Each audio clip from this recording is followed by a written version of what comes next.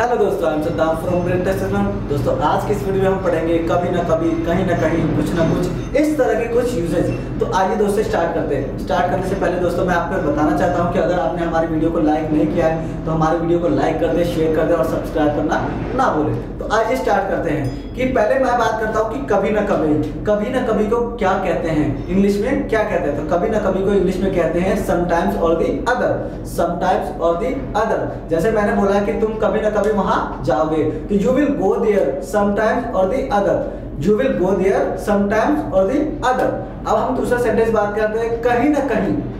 कहीं ना कहीं. जैसे मैंने बोला कि कहीं ना कहीं मैं तो उसे ढूंढ लूँगा, ठीक है? या कहीं ना कहीं मैं उसे ढूंढ ही लूँगा या फिर मैं कहीं ना कहीं उसे पकड़ ही लूँगा. तो क्या बोलूँगा?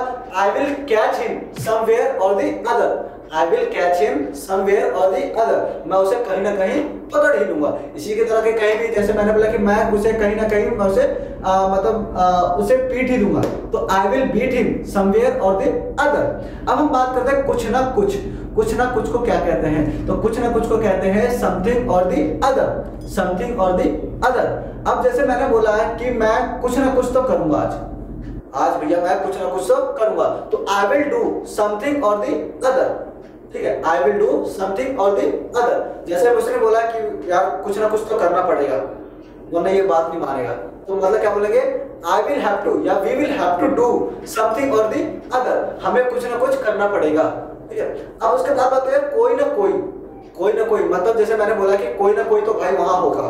ठीक है? तो क्या बोलेंगे? कोई ना कोई यहाँ पे क्या है कि कोई ना कोई यहाँ पे काम क्या कर रहा है? सब्जेक्ट का काम कर रहा है, ठीक है? क्योंकि इस सब, इससे पहले जो मैंने सेंटेंसेस बोले थे, उसमें क्या था कि सब्जेक्ट हम या किसी को ले रहे थे। लेकिन इस समय क्या हो रहा है कि यही सब्जेक्ट है।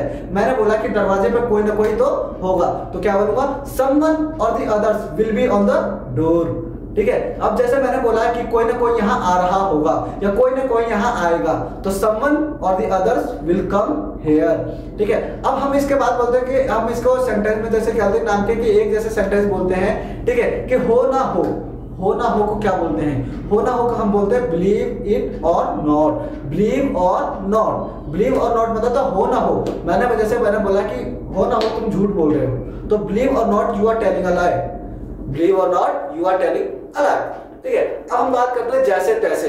जैसे तैसे को क्या बोलते हैं? समहाउ जैसे तैसे समहाउ जैसे तैसे भी बोल सकते हैं और उसे भी, कैसे भी करके भी बोल सकते हैं। उसे क्या कहते हैं? समहाउ जैसे मैंने बोला कि भाई, मुझे नहीं पता।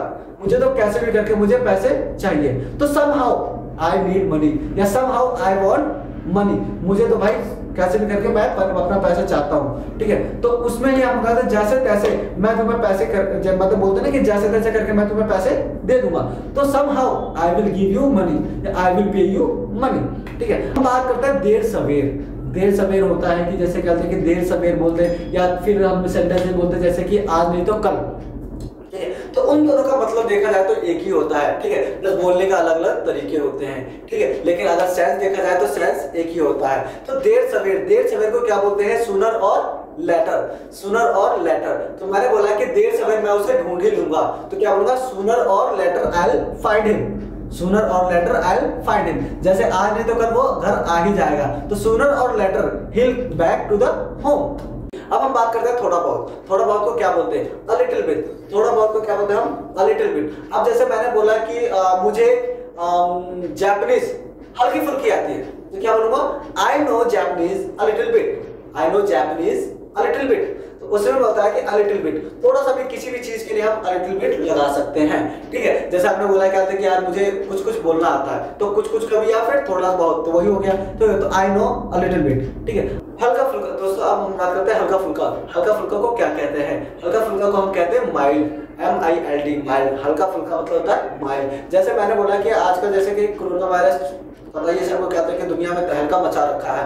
ठीक है तो आजकल क्या होता है, हर एक, हर घर में छोटी मोटी बीमारियाँ होती रहती है हल्की फुल्की बुखार होती है। तो उसमें हम क्या बोलते हैं कि जो छोटे मोटे हल्के फुल्के जिसे कहते हैं, ठीक है तो हल्का फुल्का बुखार को क्या बोलेंगे? तो जैसे मैंने बोला कि मुझे हल्का फुल्का बुखार है तो I have I have mild fever I have mild fever अब जैसे मैंने बोला कि भाई साहब, उसने शराब पीकर मतलब कहते हल्का फुल्का वो क्या हो गया? नशा चढ़ गया उसे, ठीक है? तो क्या बोलेंगे? He has got mild hangover ठीक है? He has got mild hangover तो दोस्तों, कैसी लगी वीडियो? अगर हमारी वीडियो अच्छी लगी तो हमारी वीडियो को लाइक करें शेयर करें और सब्सक्राइब करना ना भूलें।